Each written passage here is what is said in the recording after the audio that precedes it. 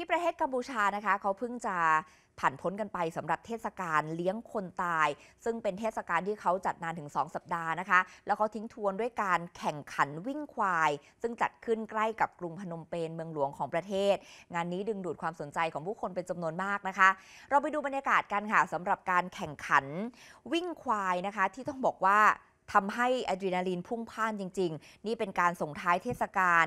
เลี้ยงคนตายหรือว่าเทศกาลที่มีชื่อว่าประชุมแบนในกัมพูชา สิ้นสุดลงไปในวันพุธที่ผ่านมา แล้วก็เรียกเสียงเชียร์จากประชาชนแล้วก็ผู้ชม ที่เดินทางมาเคารพบรรพบุรุษกันอย่างคับข้างค่ะ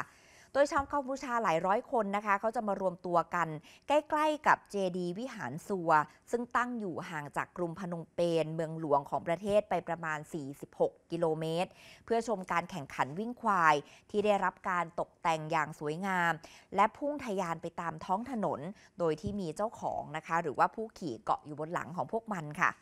สำหรับเทศกาลประชุมแบนหรือว่าเทศกาลเลี้ยงคนตายในกัมพูชาปีนี้ เริ่มต้นตั้งแต่วันที่ 18 กันยายน เป็นเทศกาลที่กินระยะเวลา 2 สัปดาห์นะคะ จุดประสงค์ก็เพื่อที่จะรำลึกและเชิดชูผู้เสียชีวิต ในช่วงการปกครองของเขมรแดง และในช่วงเทศกาลดังกล่าว ชาวกัมพูชาก็จะเข้าวัดใส่บาตรทำบุญเลี้ยงพระ และบริจาคเงินให้กับผู้ยากไร้ค่ะ